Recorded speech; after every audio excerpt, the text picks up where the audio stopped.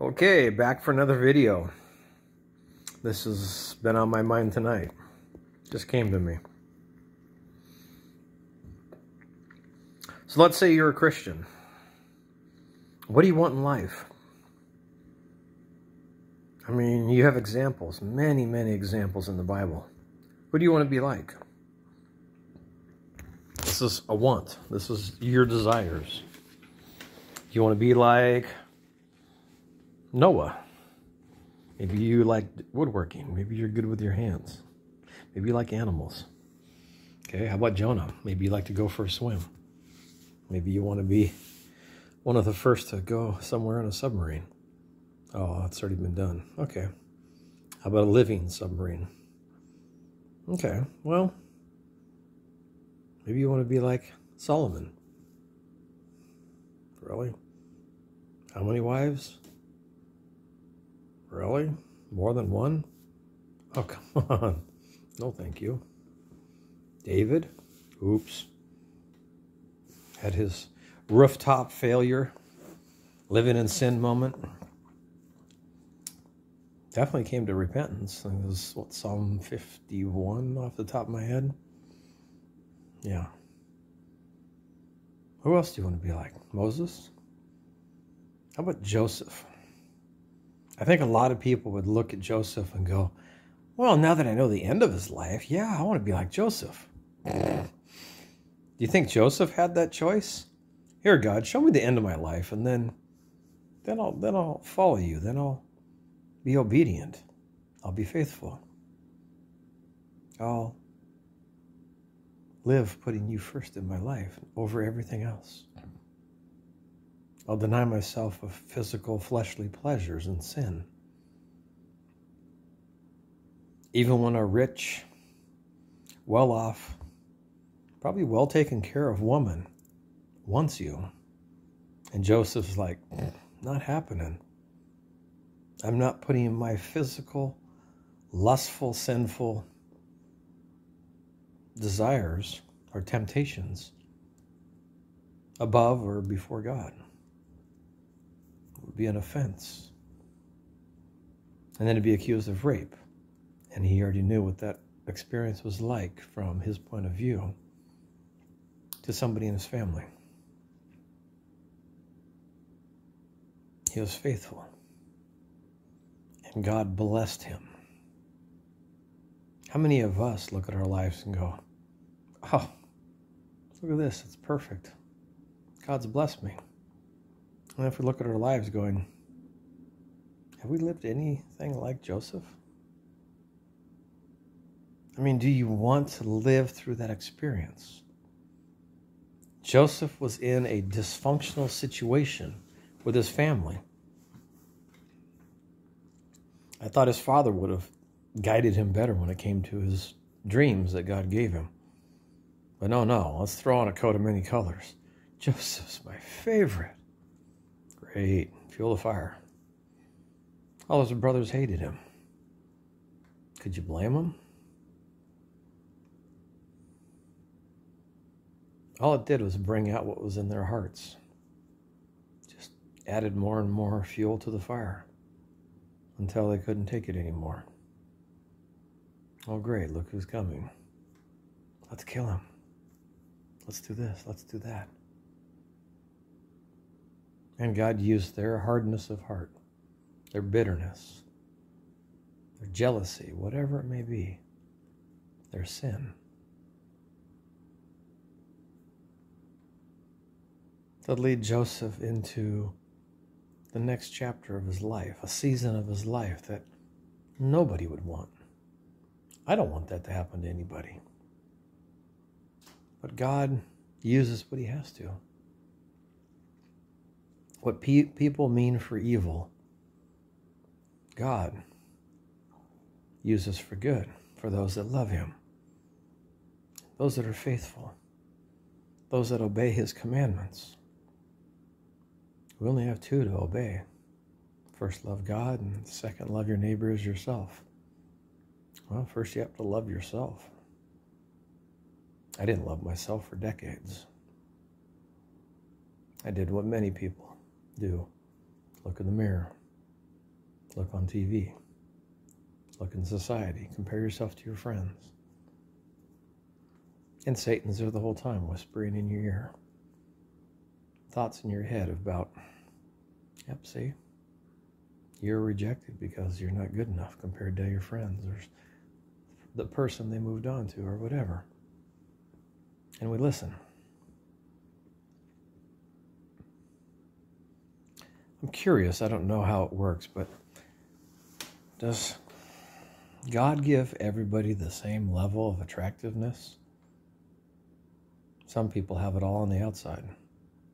Some people have it all on the inside. And some have a mixture of both. I didn't think I had any of it. Because I was broken very early on in my life by my family, then by myself, and by life. Well, I guess if you've got hardness, God needs to break it. Kind Another example I could think of is like the chocolate processing machines have those rollers and there you get a really fine thin layer between the two rollers and any sort of lump would be broken up by the rollers. It's kind of how I feel that God's been doing with me out here in the wilderness for almost two years. He removed me from a situation where I was causing pain and hurting people and and the other way around was happening also. And God gave me an opportunity to be isolated like Joseph was. Believe me, I'm not as good as Joseph. I had a lot, lot of wounds to have God remove and healing to take place. But who are we to know what we want? Better yet, who are we to know what we need?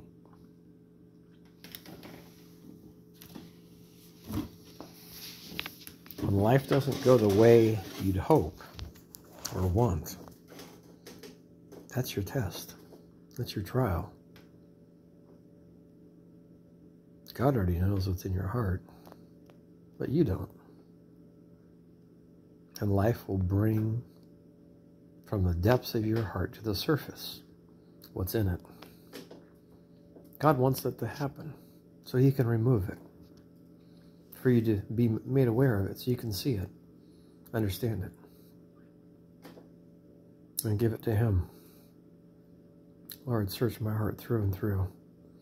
Bring up anything that's inside of my heart that is not godly and not from you. Scars, wounds, hurt, pain, bruises, sinfulness. Wash me. Wash me with your living water, your spirit. Cleanse me. Wash me with blood. Make me new.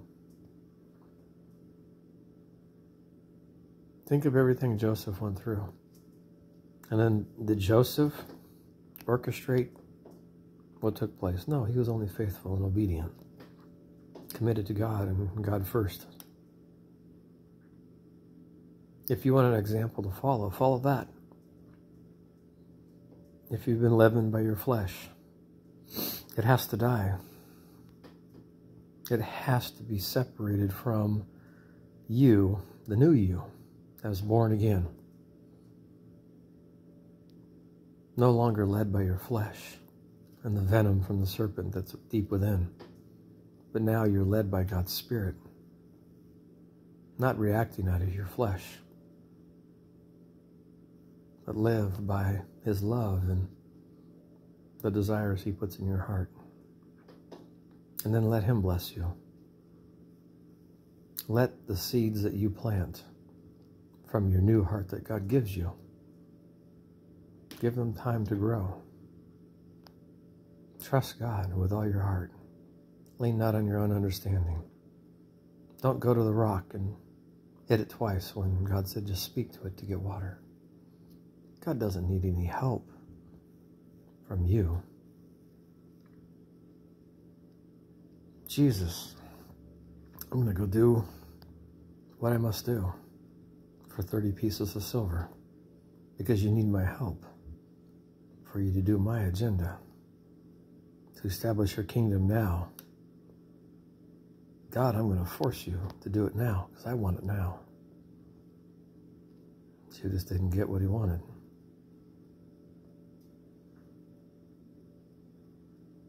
Choose today how you're going to live your life. Who's in charge? Who's leading you? Is God leading you? Are you deciding? Or are you being misled and misguided by Satan? Your friends, your company. What do I want most in life? To please God with all my heart. To love my family and treat them right. Even if they don't. During the separation, it's been a crazy time. Hearing from many different people their thoughts and ideas about marriage.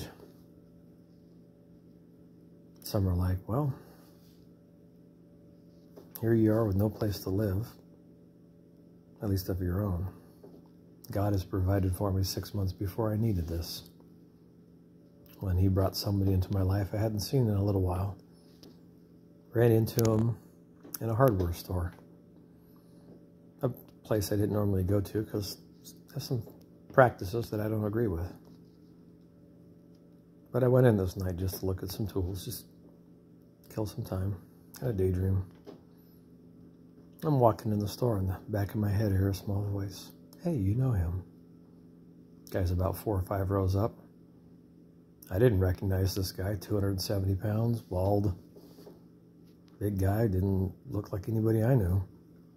But at the same time, after that small voice, I heard a very loud voice yelling at me, No, you don't, in the front of my head. I was still in bondage at the time. So I passed this guy, went into the tool section, I'm looking at the tools. Next you know, in my left ear, I hear, hey, is your name Rick? And I turned and it's that guy. I was like, wow. I said, well, actually, I go by Rich. And, and he said, I think I played Little League Baseball with you. And I was like, come on. That's 42 years ago. Okay, the last time we played was 41 years. I was 12. I was 53 when I ran into him. He had the same small voice. Said, "You know him." He tried to say my last name. He got the, the, the R and the C right. Then he said his name, and I remember him fondly. Great player, beautiful swing. Boy, could hit the ball. Great attitude, personality. Six months later, I'm staying at his house. Here I am a year and a half later, staying at another one of his houses, doing some home reno, doing some car repairs kind of at his beck and call. But God's been changing my heart, changing my life one day at a time. I have a roommate staying here with me, another man in a rough marital situation, recently divorced after 26 years. His flesh got in the way. And so much more. God's been pulling a lot of strings behind the scenes. There's so much more to it. But what do you want in life? You want everything of the world that you see? Are you awestruck? Oh, I want this and that and that and that.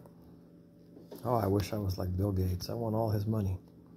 Well, did you do the work that he had to to get there? And look where he is now. Do you want to be there too? I don't want all that money.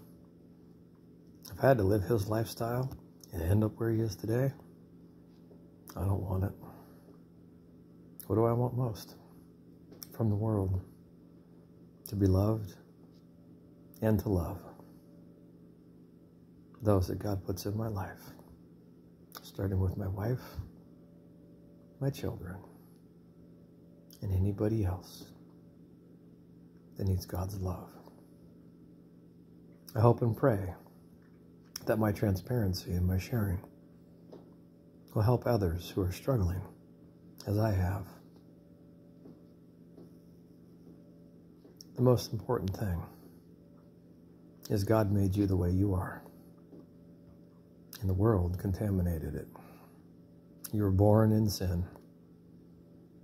And as you lived day by day in this world that is filled with darkness and evil, it contaminates the outer layer, the outside of what God created, trying to destroy the inside creation. All I can say is I have a video. It's like looking at you through God's eyes. Look at yourself through God's eyes. He doesn't have scales in him.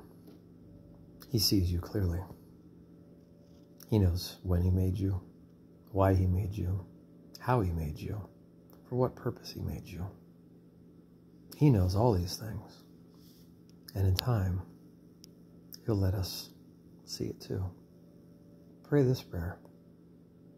God, tonight, would you please show me what you see when you look at me? I don't trust what I see with my eyes because I live in a world that is distorted and deceived by the venom from the serpent. God, I'm struggling with how I see myself comparing myself to somebody else, rejecting myself, hating myself. Some people may be wishing they were never born. Maybe some people wishing they die just to get the pain over with. All those things I just said, that was me for many years of my life. My teenage years were very painful. So painful, I wanted it to end no matter what. Thankfully, it didn't. That would have been a very foolish, stupid night. But I wasn't prepared to handle alone the emotional pain that I experienced. And then to find out last year that what I thought took place didn't. And I could have killed myself, believing a lie. And I know where the lie came from. And I don't know how many people I've helped over the years that I wouldn't have been able to if I was gone. And no, it wouldn't have made things better for my family or my friends or the wife that needed me in 2000 and beyond and who still needs me. But she needs the old me back, not the broken one. Well, I'm sorry, honey. God had to allow life to break me so he could reshape me into who He created me to be originally. I hope and pray we have an opportunity to try again. And if anybody else is struggling with suicidal thoughts, please get help, not self help. God loves you. I love you. And there's going to be other people in your life who will love you. And I want somebody to love you for who you are, not for what you do. Because that's love. Jesus loved us enough to leave heaven and come to earth and suffer on the cross so that we might live. He came to show us how much we're worth to Him. Life is worth it. The struggle is painful, it's hard. But even then, good things come out of it. I hope and pray that if anybody's struggling with suicidal thoughts, giving up, wanting the pain to end, I hope and pray that God will protect you and keep you from opening doors and walking in to things that God would not want you to do drugs, alcohol, risky lifestyles, whatever it may be that you think you need to do to numb the pain, to get you through one more day. I hope and pray that you will get what you really need, that you will cry out to God with your brokenness, your desperation, and say, Lord, I need you. Jesus, help me. I believe, but help my unbelief. Touch my heart and my life in a way to take away my doubts, my fears, my unbelief. I want to know that you're real like this person making the video knows you're real. I want to love you like this person loves you. I want to trust you like this person trusts you, even when he's alone in the wilderness. Sometimes when life doesn't go the way you want or hope, it's because God's preparing you for what He has next. Don't give up. Hang in there. Trust Him enough to give Him one more day. And then when that day ends and a new one begins, trust Him for another day. And if you're still struggling, reach out to me. I'll pray for you. I'll encourage you. I'll help you make it over the bumps, the, the mountains, the valleys, the deserts, whatever it may be. If I can help you, I will.